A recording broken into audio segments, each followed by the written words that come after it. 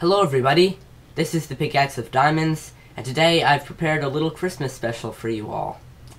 Now, I've just set up this Christmas tree that says Merry Christmas above it. You can see it's got glowstone for lights, and a whole bunch of different wool for ornaments, and to top it, a whole bunch of gold blocks. Pretty good, huh? Well, do you think I can top it? Okay, let's go over here, where I've got an even bigger Christmas tree. it's got a whole bunch of ornaments all the way around it, glowstone at the top for the lights, and guess what? There's a lever down here where the lights, they are even toggleable. You can light up all of the lights, most of them from inside the tree where there's a lot of redstone as you can see. And some of them there was just it was just too close together lights up this far so I had to bring it outside the tree. But anyhow let's go and sh show you the redstone inside. Let's first start at the bottom. So when you pull this lever it sends a current to these blocks right here and then you can consider these the branches of the Christmas tree because you know they're made of wood. They're they're branches, and uh, all this redstone goes to every individual redstone lamp. And for the ones on the corners like this, or right next to the corners, I had to do something. I had to do something with the redstone where you put a redstone repeater there, and it's actually right there.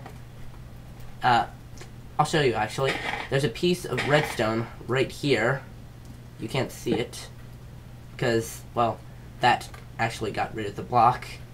But there's a piece of redstone right here and that activates this and this activates this. Bam, you've got yourself Christmas lights. So anyway, now let's go up and show you some of the other things I've done. Um, hmm.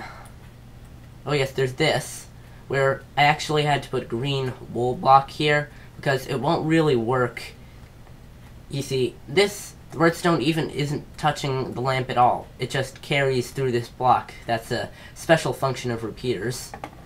And this repeater was meant to prevent this redstone from, I'll just show you, from being connected to here. You see, it doesn't work. It has to be directly feeding into the piston or not the piston, the redstone lamp. And further up, it's just more of that repeated. At some point, I had to use some actual repeaters to make the current go higher. And, uh, how do you get up there again? Yeah, this is, this is like a maze of redstone to me. But anyway, here, there's some more of these corner redstone lamps and with the piston making the current go over here, igniting the redstone right there, some more of this, some more of that, the redstone in the corner, and there you go. Now let's head outside to this part, where the redstone actually has to go out of the tree because you can't do anything complex with repeaters in a 4x4 space. I tried.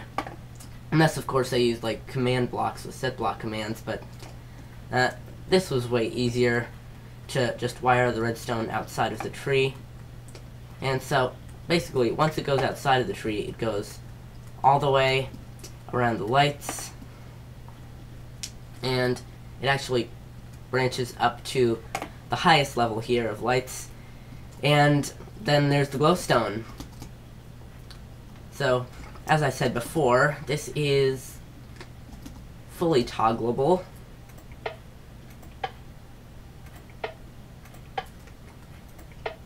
You can turn it all the way off.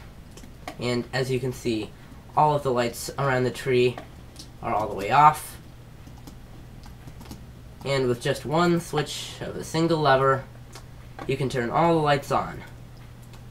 Now there's one more thing I wanted to do before we finish off this episode.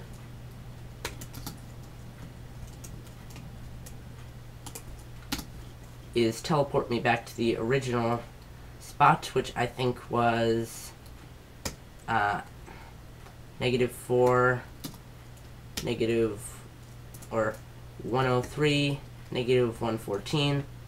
The coordinates down. Yep, and there we go. So, the last thing I wanted to do is drop these cookies. Oops, that one landed right there. Drop these cookies on the table. And this milk. And we'll leave it there for Santa. Hmm. If there was a Minecraft Santa, I would totally put out milk and cookies for him. And he would probably, like, bring around a whole bunch of diamonds to all the Minecraft guys. All the guys in this Minecraft land. Well, anyway, hope you've enjoyed this Christmas special. Thanks for watching, and I'll see you next time.